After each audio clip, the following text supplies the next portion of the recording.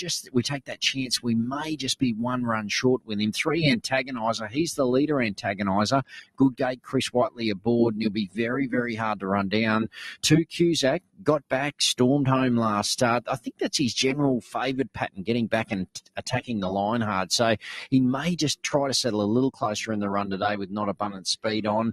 And the five Valtino, she can race handy on the speed. I'm just a bit worried about her at the 1400 metres. That last 50 is going to be the teller with her. But a good race coming up. Four, three, two, and five are my numbers. Let's have a look at this market. Uh, Freckle Rock is your favourite. He's been up and down like a yo-yo though. Three forty, just out to three eighty.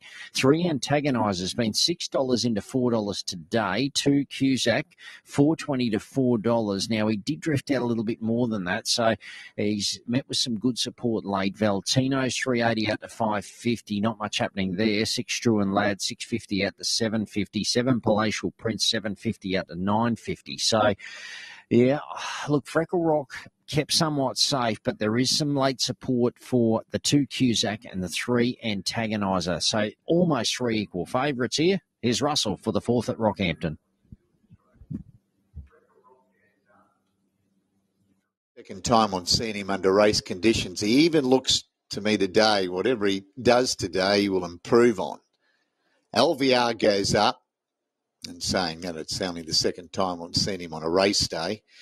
His palatial prince about to move in, and that will be the last of them. This is the Rocky Sports Club. Manager of the Rocky Sports Club, Jack Hughes, here on track today. And the Ralph. Antagoniser fast away. Jockey on a mission looks as though he wants to lead. Freckle Rock ridden with urgency early, going up to be second. Valtino third. Thorben's going to settle fourth the inside. Lenric Lass and LVR drifting back. Struan Lad.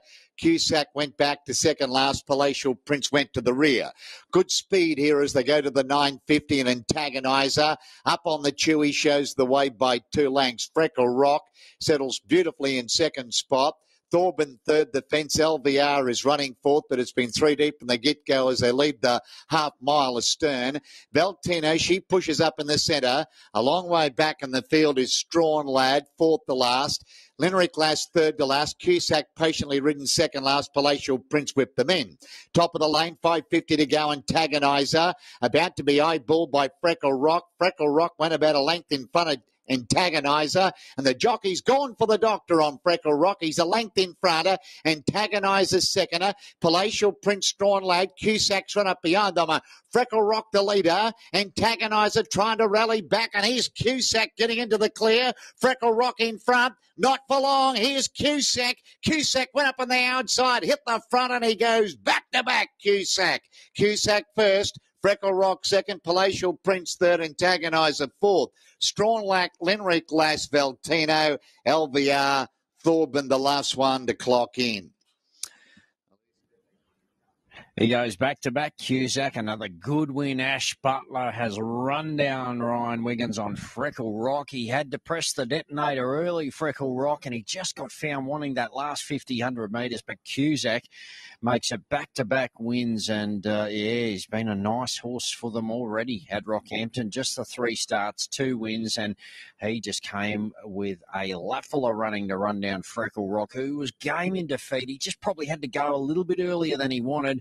He got to antagoniser so easy, and uh, then he just was left a, sh- a, sitting shot for Cusack. Palatial Prince made some ground to run third, and the three antagoniser just knocked up a little bit to run fourth, but well done, Cusack. Cusack, Jared Wheelow, Ash Butler, back to back.